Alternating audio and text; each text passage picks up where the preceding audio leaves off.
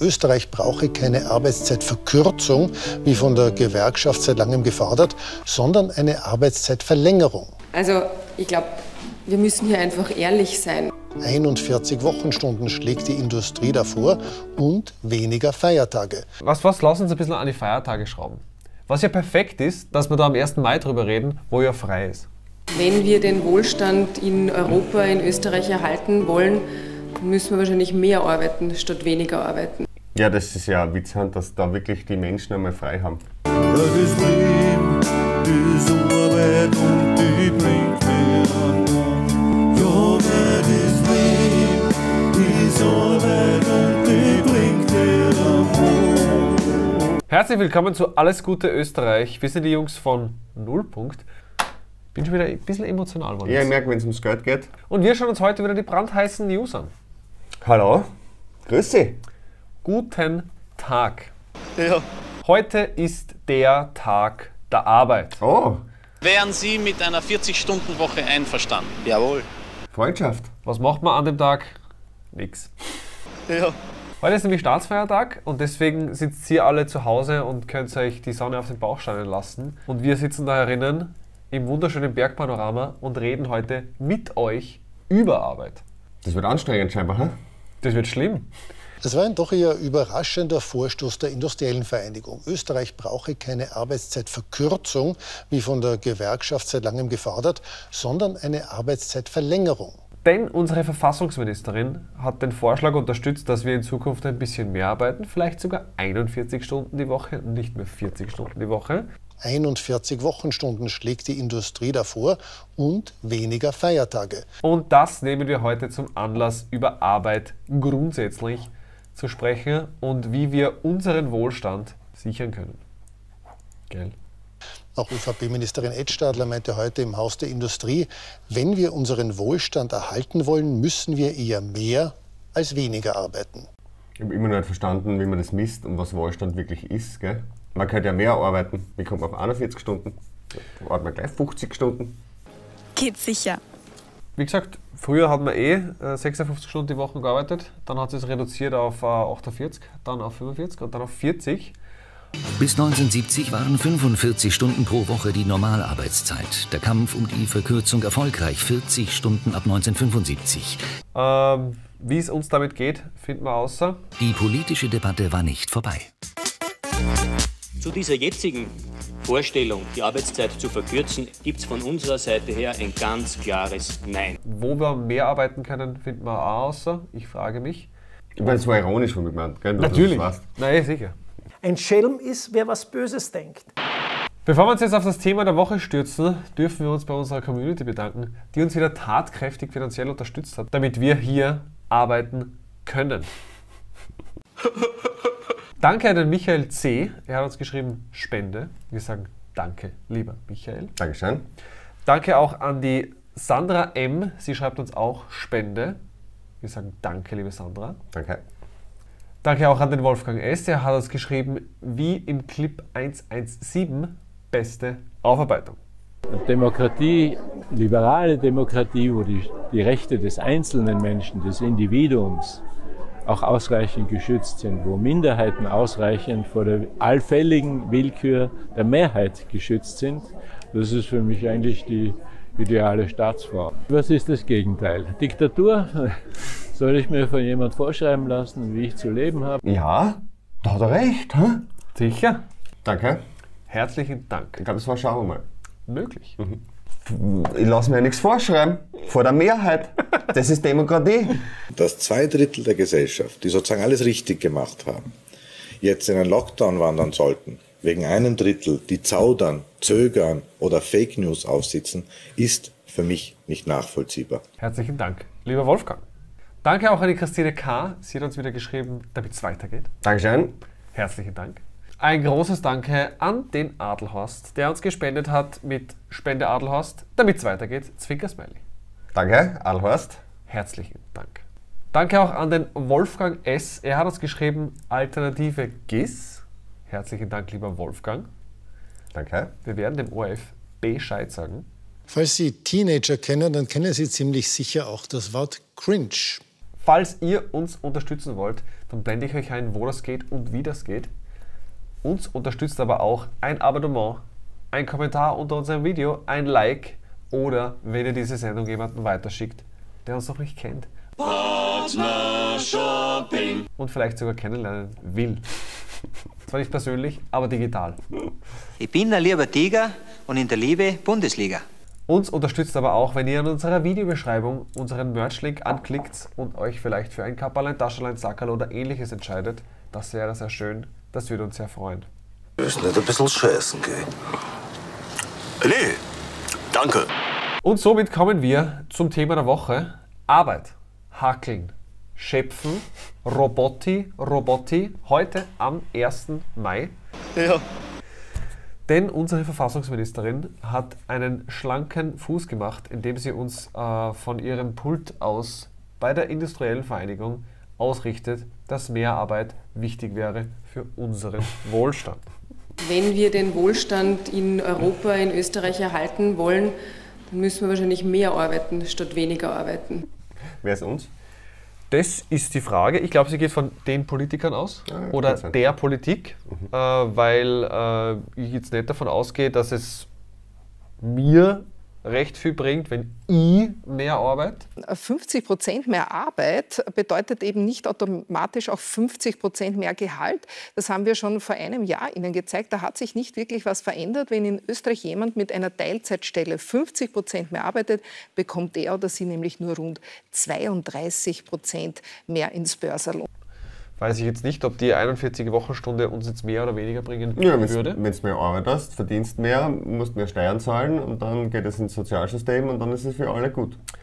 So Genau. wird es uns so erklärt, oder? Genau. Außerdem wird uns erklärt, dass Leistung sich lohnen muss, aber halt auch nur von Menschen, die halt, wie soll ich sagen, wo der Leistungsbegriff ein bisschen dehnbar ist. Also ich glaube, wir müssen hier einfach ehrlich sein. Darf ich eine unvorbereitete Frage stellen? Ich bitte dich da. Was feiert man am Tag der Arbeit eigentlich? Die Arbeit.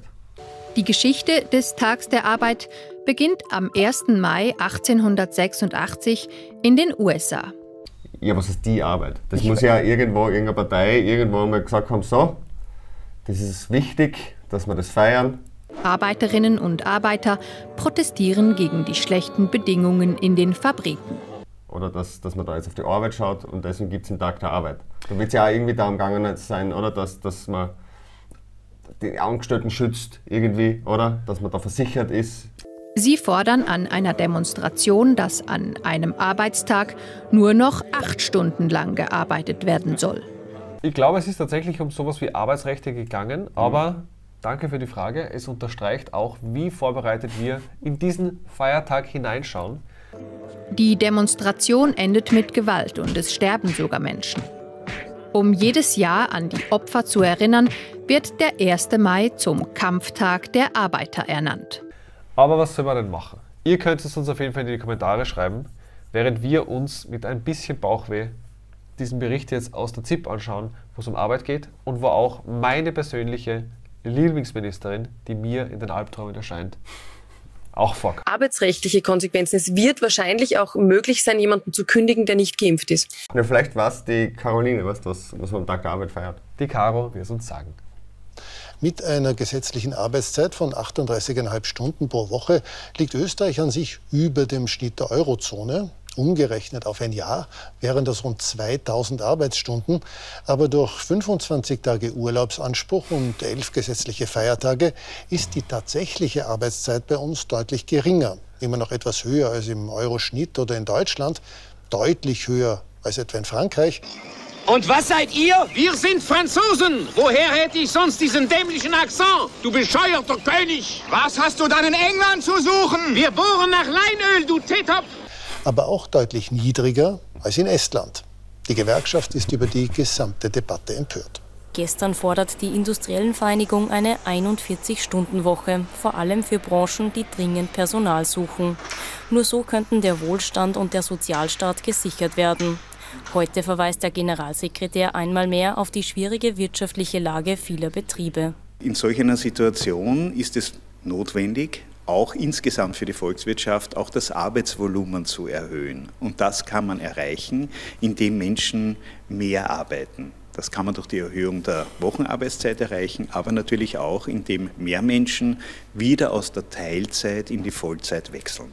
Unterstützt wird der Vorstoß in Richtung Mehrarbeit von Verfassungsministerin Edstadler. Sie ist auch stellvertretende Vorsitzende des ÖVP-Arbeitnehmerinnen- und Arbeitnehmerbundes.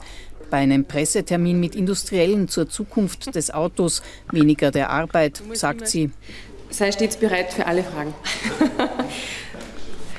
also ich glaube, wir müssen hier einfach ehrlich sein. Wenn wir den Wohlstand in Europa, in Österreich erhalten wollen, dann müssen wir wahrscheinlich mehr arbeiten statt weniger arbeiten. Wir haben überall jetzt ganz klar sichtbar den Fachkräftemangel und mit linken Träumereien von 32 Stunden Woche bei gleichzeitig vollem Lohnausgleich wird sie sich nicht ausgehen. Die Gewerkschaft spricht von einer jenseitigen Forderung der industriellen Vereinigung. SPÖ-Bundesgeschäftsführer Klaus Seltenheim von einem nächsten Anschlag auf ArbeitnehmerInnen. In der SPÖ wirbt man schon länger für eine Arbeitszeitverkürzung und eine Viertagewoche. Finde ich geil. Wenn die Edstadler, wenn die Edstadler am ersten Satz, was sie sagt, ja, da muss man jetzt ehrlich sein. Ja. Das ist nicht mehr der Moment, wo ich ausschalten würde im Fernsehen. Was? Wenn Sie die Geschichte glauben, liegen Sie leider falsch. Da kann man ja froh sein, dass man nur ausschaltet und nicht äh, versucht, den Fernseher vom Kastel zu werfen. Weil wenn eine Politikerin wie sie, ja, die jetzt nicht die beste Bilanz hat, sagt, da müssen wir jetzt schon ehrlich sein, gell? Wenn ich meinen Wohlstand erhalten will, dann müsst ihr auf jeden Fall mehr arbeiten. Leider nicht. Es ist Unfug. Weil die Tatsache, dass die Industriellenvereinigung sowas sagt wie, wir können es jetzt nur schaffen, wenn, jetzt, wenn ihr jetzt mehr arbeitet. In solch einer Situation ist es notwendig, auch insgesamt für die Volkswirtschaft auch das Arbeitsvolumen zu erhöhen. Was heißt denn das dann? Was ist der Wert von mehr Arbeit? Das ist die große Frage. Weil der Tag hat 24 Stunden, der Mensch hat einen gewissen, sagen wir mal so, Kontingent an Energie. Und wenn ich jetzt mehr hackel, wer verdient da jetzt mehr? Wer hat da jetzt mehr davon, außer der österreichische Staat, der Steuern einhebt? Das ist meine, meine ganz ehrliche Frage, Ja, weil so. man muss jetzt auch ehrlich sein. Also ich glaube, wir müssen hier einfach ehrlich sein. Ganz Ja, ehrlich. man sollte ehrlich sein. Weil ein Lehrer, der eine Viertelstunde länger arbeitet am Tag, hat nicht einen Schüler mehr dadurch zum Betreuen. Hä? Oder ein Priester, der eine Stunde mehr arbeitet, hat jetzt nicht ein Gebet mehr. Dank sei Gott dem Herrn. Aber das wollte ich dir eh fragen. Man tut so, als wäre jeder Beruf gleich. Deswegen ist es für mich äh, eine Showpolitik schon wieder oder eine Pseudofrage. Ja? Es ist eine Pseudofrage. Weil es ist schon ein Unterschied, ob du im Büro sitzt und einen Bürojob hast und 41 Stunden arbeitest oder du, ich weiß nicht, bist an der Kasse. Ganz kurze Frage. Fühlen Sie auch Knackwatschen?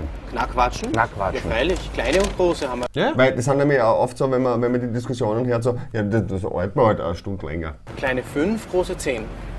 Dann hätte ich gern zwei kleine, bitte. Ja, nein, im Büro geht's, weißt du, gehst noch einen Kaffee trinken, da trinkst du, lässt du noch ein paar Kaffee auf, dann gehst dreimal aufs Klo und dann ist die Stunde eh vorbei. Aber das kannst du bei gewissen Berufen nicht machen. Und das Lustige ist, wenn ich dann drüber nachdenke, an der Kasse stehen zum Beispiel, die Stunde länger, das, das wäre ein Unterschied für einen Menschen, der dort arbeitet. Könnte ich es gleich haben? Ja, natürlich. Bitte sind Willst du lieb. kurz umdrehen? Aber du kriegst ja auch nicht überall einen 40-Stunden-Job. Das kommt noch dazu. Deswegen ist diese Frage, äh, ja, politische Aufregung oder wieder Wahlkampfthema oder so irgendwas. Danke. Wiederschauen. Naja, es ist natürlich auch wieder eine, vielleicht nicht ganz freiwillige, aber billige Art und Weise, wieder in die Nachrichten zu kommen, weil man halt jetzt auch jemanden hat, der über dieses Thema spricht und halt die Edstadler ihr Gesicht jetzt in die Kamera hält, was dieses Thema angeht. Sei stets bereit für alle Fragen. Aber es ist halt so weit von der Realität entfernt, weil wenn es jetzt Betriebe gibt, ja, wo Leute fehlen, und die Antwort der Politik ist, ja, dann müsst ihr aber auch ein bisschen mehr hackeln, dann kann es die Person, die fehlt, ausgleichen. Wenn wir den Wohlstand in Europa, in Österreich erhalten wollen, müssen wir wahrscheinlich mehr arbeiten statt weniger arbeiten.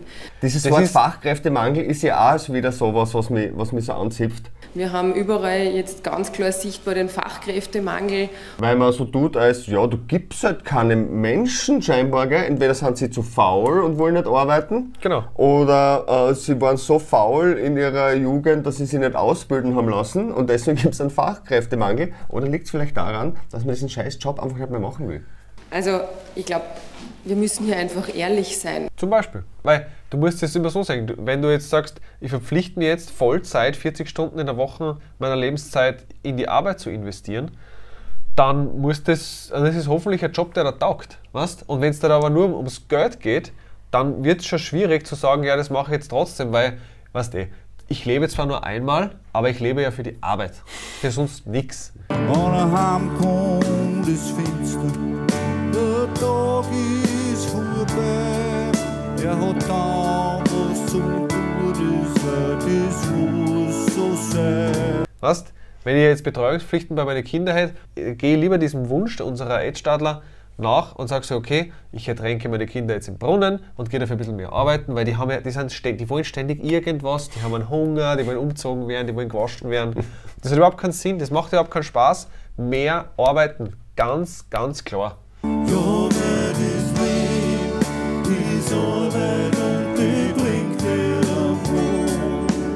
Ja, ich meine gut, das kann man darauf an, wenn du fragst. Ja. Wenn du die ÖVP fragst, ist eh klar, dass du so eine Antwort kriegst, auch die industriellen Vereinigung. Und ich Ja. sage ja, mehr Menschen können halt aus der Teilzeit wieder zurück. Das kann man durch die Erhöhung der Wochenarbeitszeit erreichen, aber natürlich auch, indem mehr Menschen wieder aus der Teilzeit in die Vollzeit wechseln. Ja, was, wie, wie stellen sich diese, diese Menschen, oder die industriellen Vereinigung, diese Menschen vor, die da arbeiten? Ja, die dass, glauben dass, ja- Dass, dass, dass sie sagen, ja, ich habe hab aber keinen Bock, ich gehe Teilzeit und dann liege ich daheim nur um und um, liege ich nur in der Hängematten. Genau. Und wenn, dann, wenn man dann sieht, dass der Wohlstand sinkt, dass die Leute in der Hängematte denken, ah, was das, ich gehe jetzt wieder zurück in die 40-Stunden-Woche von der Teilzeit. Ich glaube, das denkt er sich. Und das kann man erreichen, indem Menschen mehr arbeiten. Ja, aber jetzt hast du was Spannendes gesagt. Und dann sieht man, dass der Wohlstand sinkt. Wenn ich es in meinem Leben hinbekommen würde, vier Tage die Woche zu arbeiten, ja, weil es sich einfach mit der Kohle so ausgeht, dann ist ja nicht mein Wohlstand gesunken, sondern meine Lebensqualität ist gestiegen, dadurch, dass ich weniger arbeite, weil ich auch weniger arbeiten muss. Das Einzige, was sinkt, sind die Steuereinnahmen. Und zwar um immens. Von 100 Euro, die Sie durch Arbeit verdienen, zahlen Sie ca. 40 Euro an Steuern und Abgaben. Wenn Sie hingegen Milliardär sind und Sie verdienen 100 Euro, dann zahlen Sie irgendwas zwischen 20 und 25 Euro. Und deswegen kann ich mir nicht vorstellen, dass irgendwas anderes gemeint ist, außer Steuereinnahmen. Ja, aber Steuereinnahmen sind ja wichtig. Damit wir sie zahlen müssen. Er- Erstens die Politiker, ja. Und falls wieder so eine Pandemie kommt, ja, muss man ja wieder 4, 5 Milliarden Euro in die Hand nehmen, ja, um Ja. die Maßnahmen zu zahlen. Bisher hat die Covid-19-Finanzierungsagentur 15,3 Milliarden an Zuschüssen vergeben und rund 3,5 Milliarden an Garantien und Haftungsübernahmen, also insgesamt 18,8 Milliarden Euro. Das darfst du nicht vergessen. Natürlich. Also, nee. Also, Es sind die letzten regulären Befragungstage im KOFAG-Untersuchungsausschuss. Hier wollen SPÖ und FPÖ der Frage nachgehen, ob es eine Bevorzugung von Milliardären durch ÖVP-Regierungsmitglieder gibt. Eine weitere Sonderbehandlung ist bekanntermaßen das Firmenkonstrukt des Herrn Benko. Dieses Konstrukt hat insgesamt 18,7 Millionen Euro aus der KOFAG erhalten. Und dabei gibt es auch hier eine von der EU-Kommission vorgegebene Obergrenze für Firmenverbände in Höhe von rund 14 Millionen Euro. dass ich an das nicht denke, ist sowieso äh, illegal. Also, ist ja, weißt, ich, ich sollte ja des Landes verwiesen werden mit so einer Meinung. Es ist richtig, dass natürlich mit Einführung der Impfpflicht es eigentlich rechtswidrig ist, in Österreich zu wohnen und nicht geimpft zu sein. Theoretisch natürlich. Also, Versteht im Fernsehen aufs Leicht reden, der Herr Minister, aber sonst sind wir einer Wurscht. Uninteressant. Und das Schöne ist ja auch das, gell, wenn jemand, ja, der da vor die Kamera darf, ja, so tut, als wäre es einfach von Teilzeit in Vollzeit zurückzukommen, zum Beispiel weil man Mutter ist zum Beispiel. Oder weil man auch als Mann quasi Kinder hat. Oder weil man vielleicht Betreuungspflichten hat, weil die Oma krank ist. Oder weil irgendwie die Eltern zum Pflegen sind oder was auch immer, ja, dann dann die Leute halt immer so, ja, die sind nur faule Menschen, die einfach nicht Vollzeit arbeiten wollen. Und ich denke mir so, ja, oder es gibt einfach viele Leute, die neben dem Arbeiten nur was anderes machen müssen und deswegen das nicht machen können. Und da vielleicht auch vielleicht sowas wie eine Lücke entsteht, weißt? Ja. Der Wirtschaftsforscher hingegen bezeichnet die Verkürzung der Arbeitszeit als Erfolgsgeschichte. Sie zeige, dass produktiver gearbeitet werde und dass mehr Menschen in den Arbeitsmarkt integriert werden können. Also Menschen mit gesundheitlichen Beeinträchtigungen, ältere Menschen, Menschen mit Betreuungspflichten. Und diese Menschen können natürlich nicht so viel arbeiten wie der Durchschnitt und das drückt den Durchschnitt etwas. Aber insofern ist es nicht so, dass sinkende Arbeitsstunden ein Zeichen einer schlecht funktionierenden Ökonomie sind, sondern eigentlich das Gegenteil. Es kann ja sein, dass ganz viele Frauen ihre Eltern pflegen müssen, ja, weil die halt einfach sie eine Pflegerin aus dem Ausland nicht, nicht, nicht leisten können. Deswegen können sie weniger arbeiten. Und dann kommt irgendeine Ministerin und sagt, ja, es ist aber schon scheiße. Wenn wir den Wohlstand in Europa, in Österreich erhalten wollen, dann müssen wir wahrscheinlich mehr arbeiten statt weniger arbeiten. Na, natürlich, das ist frech von den Ministern ja, und frech von solchen Menschen, das so zu behaupten, ja, eben, dass die auf der, auf der faulen Haut liegen. Und mit linken Träumereien von 32-Stunden-Woche bei gleichzeitig vollem Lohnausgleich wird sie sich nicht ausgehen. Kannst du ein paar Wochen parabern, verstehst du? Da kriegst du den letzten Match und da kannst du die Aufhänger. Kannst stehen, Ficke, stimmen! Aber es darf ja auch erlaubt sein, so wie du vorher gesagt hast, dass ich sage, ich arbeite nur Teilzeit für meine Lebensqualität.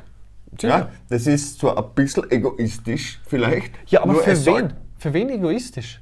Bin ich für die zuständig? Also jetzt nicht, ich weiß schon, wir sind in einer Firma, aber bin ich jetzt dafür Naja. zuständig, dass diese Person genug Steuern einnimmt durch meine Arbeit? Auf die Scheiße heute, ehrlich gesagt. Das ist das Orge. Ich meine, du müsstest den Finanzminister fragen, wie viel Geld braucht man, ja, dass uns allen gut geht. Ja?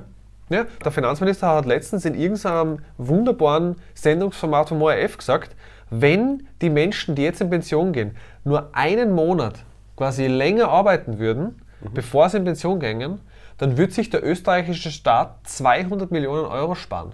Wenn es um die Ausgaben geht, dann haben auch die Pensionen einen sehr, sehr großen Brocken im Budget. Ein Viertel ähm, rinnt hier in Pensionsausgaben. Man muss sich schon überlegen, und da sind wir auch dabei, wie wir diese Kosten äh, reduzieren können. Beispielsweise späteres äh, Antreten der Pension, auch da äh, nur eine Zahl, ein Monat heranführen des Faktischen an das Gesetzliche würden 200 Millionen Euro Entlastung pro Jahr mit sich bringen. Also da sieht man schon, äh, wie das Volumen ist. Und ich denke mir nur so, vielleicht holst du einfach die Pappen. Was? Also es gilt natürlich die Unschuldsvermutung. Ein Schelm ist, wer was Böses denkt. Aber trotzdem, ich denke mir einfach nur so, du gehst jahrelang hackeln, kriegst dann eine Pension und dann, dann sagt, kommt der Finanzminister, aber wenn wir jetzt alle zusammenhalten, gell, dann kann ich mir richtig viel Geld sparen, das ich dann wieder verteilen kann, wie ich will, wo ihr kein Mitspracherecht habt. Laut SPÖ hat die KOFAG eine Milliarde mehr an Steuergeldern an Konzerne ausbezahlt, als sie laut EU-Wettbewerbsrecht hätte dürfen. Dass man beim zweiten Fixkostenzuschuss von der Konzernbetrachtung abgegangen ist, hat Konzerne klar bevorzugt, wie auch ein Finanzbeamter im Zuge der Befragung eingesteht. Ein Konzern, der über viele Einzelbetriebe organisiert war, konnte für jeden dieser Betriebe eine Förderung abrufen. Weil von einer österreichischen Volkspartei Ideen zu hören, die sich nach einem kommunistischen System anhören, macht mir zum Beispiel wieder ein schlechtes Gewissen, weil man denkt so, vielleicht habe ich jetzt falsch aufpasst in der Schule. Ich mir gedacht, das sind, das sind diejenigen, die immer gegen die Kommunisten wettern. Wäre die kommunistische Idee nicht ein Grundeinkommen für alle? Ja, aber dann geht ja gar keiner mehr hackeln. Das glauben sie, ja, und das, ich, ich weiß nicht, ich glaube schon teilweise, ja, gell, ähm, auch wenn es mir, mir vorwirft, aber ich glaube an das Gute im Menschen. Da gibt es jetzt sicher nichts blöd zum Lachen. Und ich glaube, dass das wichtig ist, dass jeder Mensch eine Aufgabe hat, ja, und dass jeder gern eine Aufgabe hat und gebraucht wird. Ja, na, eh, das ist ja das Geilste. Die, äh, der, die Industriellen Vereinigung Niederösterreich sagt ja, die SPÖ soll endlich damit aufhören zu sagen, dass Arbeit so krank macht. Und ich glaube, man sollte auch den Leuten nicht immer einreden, dass Arbeiten krank macht, weil das sehe ich nicht so. Arbeit ist Spaß, Arbeit ist eine Aufgabe fürs Leben und Arbeit und Leistung macht auch, was das ist, das macht glücklich. Wir sehen auf der ganzen Welt, dass gerade junge Leute eine Freude haben an der Leistung, sich was aufzubauen.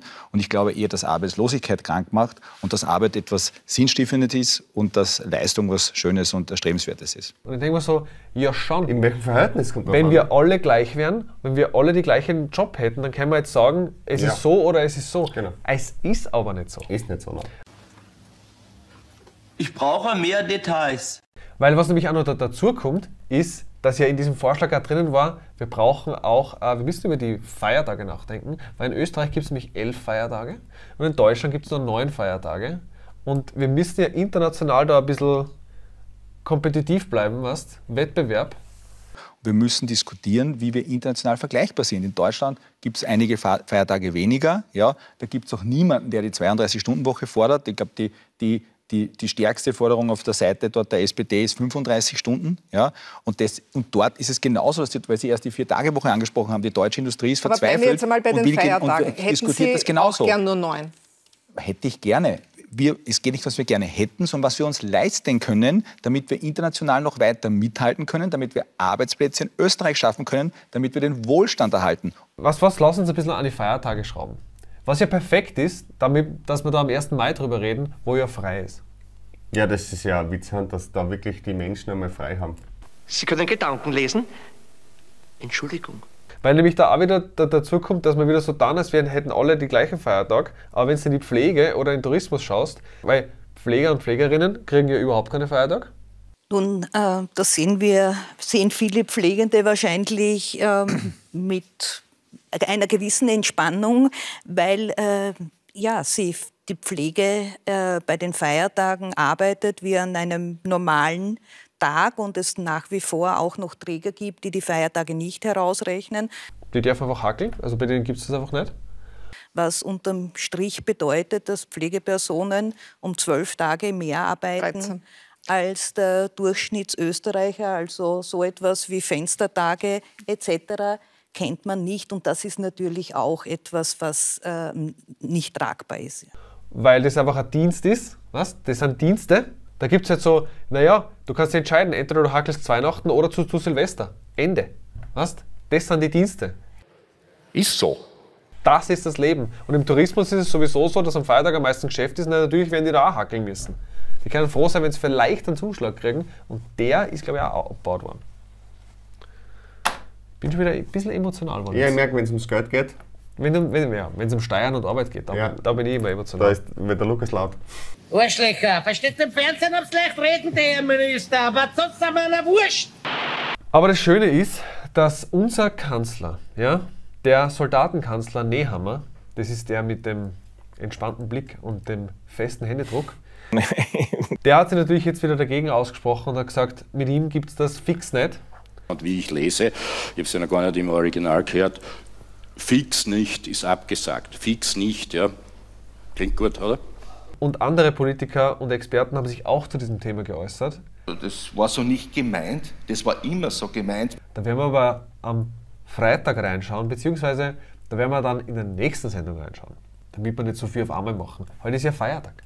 Nicht wahr? Lucky, teile der Arbeit ein. Work-Life-Balance. Das ist ein Mythos. Wir sind selbstständig, weißt du? Arbeit, Arbeit, Arbeit und den Ferien kannst du haben, wenn du krank bist. Ja gut, Feiertag zählt nicht, ja. Wir müssen ja die Community Natürlich. am Laufenden halten. Ja. Es geht ja nicht um den Wohlstand, sondern das Wohl, Wohlsein. Wohlsein. Mach uns ein Verschnittchen. Mit Ei. Mit Ei und Wurst. Gut, bis zum nächsten Mal. Schönen Feiertag, alles Gute. Schreibt es uns in die Kommentare, was ihr von diesen wunderbaren Aussagen haltet. Ja, tschüssi. Bis bald, bis zum zweiten Teil und wir sehen uns. Adios.